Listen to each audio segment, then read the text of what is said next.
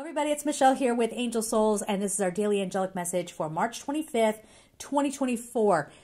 I should have looked this up. Is today the lunar eclipse? Help me out. I know some of you out there studying astrology. I should have studied it, but it's hard. There, it's it's a lot, okay, and it's math, and it's. I, I felt like when we talk angles, that's geometry. I don't. No, Mr. Wise, my geometry teacher back in high school, might be very upset by me saying that. Actually, I was good at geometry. I just don't want to put it in astrology. It's too much. It's too much. Anyway, so if today is the lunar eclipse, let me know how you're doing in the comments. Today we have the number 27, home. Now, in the setup of all the other dailies and the really long weekly that I put together, very interesting that today we have home. To me, this feels like a lot of us are coming home, coming home to uh, a sense of a strong sense of self. Some of you, you, you're only capable of looking at the surface level. You want to take everything quite literally. Is this about your home? Sure. It's probably not, but sure. Whatever you got to do. Okay. Whatever gets you through the day. This is, this could be coming home because something comes full circle. There, there's something around this. Or feeling at home. Feeling at home. So something... Actually, I was like joking about everybody taking it like so literally. It might be something around your home where you're figuring something out. There's like a... You're not going to see it. He's so teeny tiny, but he's back here. There's like an owl back there. Okay, now owls to me are wisdom they're also, to me, they're like little alarms. Like, I know most people would be like, roosters are the alarm. Have you ever had an owl, like, out there doing his thing?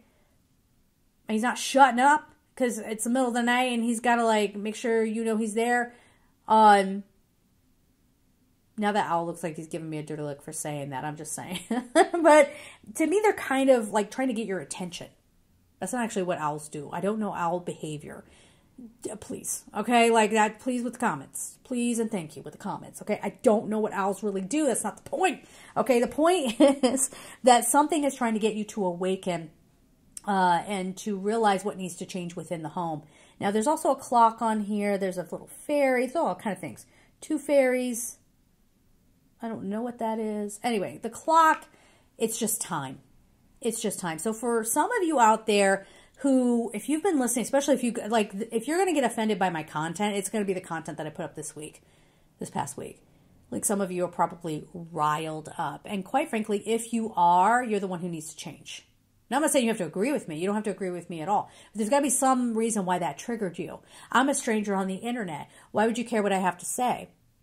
Right? So if I gave an opinion about something or I brought a message forward and then expressed an opinion around that, if you're so bothered, you need, you, you need to look at that, okay? Why did that bother you so much? So some of you have a toxic dynamic going on in your home where you are being taken advantage of. Now listen to me. We're going to use uh, the D word. I don't like saying it, but there's light, there's angels, and then there are the D word, okay? Now, some of you have invited a D word across your threshold. This goes across many different spiritual practices. A lot of people talk about this. Now, I try, it's so funny. Um, I've had here and there someone cross the threshold, and I actually have um, some chimes. I got them at a gas station.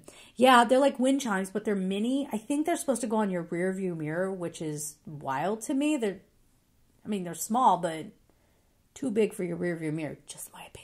But anyway, I have them on the back hinge of my door. I make sure I clean off my door. Um, typically, I have a piece of selenite and onyx or black tourmaline flanking my door so that anybody who comes through, one, you'll get a blessing. If you're open to a blessing, I set the intention that if you come through my door, you get a blessing. But it, it is also there to ward off evil. There have been situations where someone came in and couldn't stand being here. And I didn't want them here. And they turned around and they left. Now, they left kindly, but you could tell there was a little bit of scramble as they came through the door. You know all the stuff since we're on the front door thing. You know when it comes to your home, do not have anything that says welcome I have a mat that I got from Target. I'm sorry, I still say Target. I'm stuck. It's, it's just there. From Target. This is, yay, you're here. And actually, I had that during COVID, which I thought was like, that's fitting. You know, yeah, we get to see somebody. Um, but even that one, I don't have that out there anymore. I put it in inside my home and I have like my vacuum cleaner on top of it case my vacuum cleaner from being on the floor. Um, so I have just that, but it's inside my house. So like if you're already invited in, then that's okay. But um, having those kinds of indicators out front, um, not great. There's also a tradition. Now this is not a tradition that I am terribly familiar with. Um, so please comment if you know what this is. But painting your door blue or having your porch be blue, please speak on that because I did this one time. This is when I was living in Colorado Springs. Toxic people everywhere. My goodness. I had, I got from the good Dollar Tree. Yes, I did. Uh, it was like a little door. You guys saw these, right? If you're a Dollar Tree hunter. Um, little looks like a little barn door and it was blue and it's got some little things on it and a pumpkin and I don't remember what it said. Did that say welcome? if it said welcome, I took the welcome off of it, ripped it off. It's only hot glued, so whatever. I took that off, but I had that hanging outside, or I think it says fall or something. It has a word on it, which is tacky, but whatever. Whatever. It had it on it, so it was blue, and I hung that out um, in front of my door, and it was wild how, like, they this uh, apartment complex that I lived in. It was down in the um, Cheyenne Mountain area. Terrible.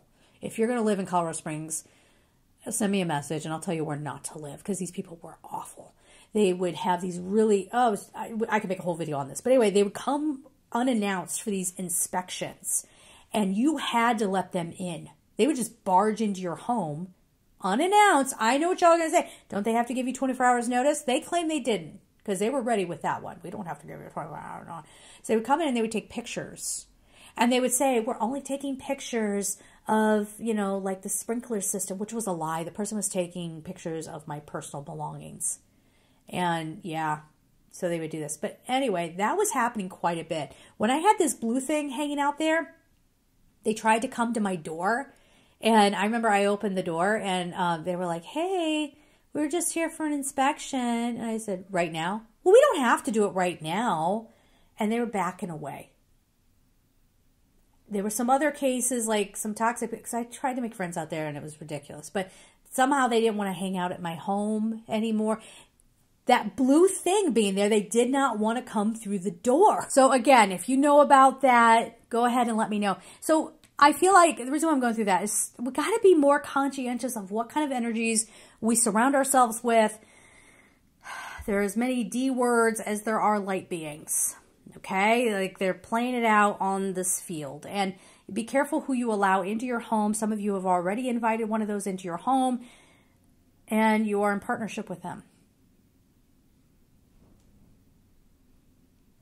You're going to have to figure out how you want to handle that and what comes next. Okay.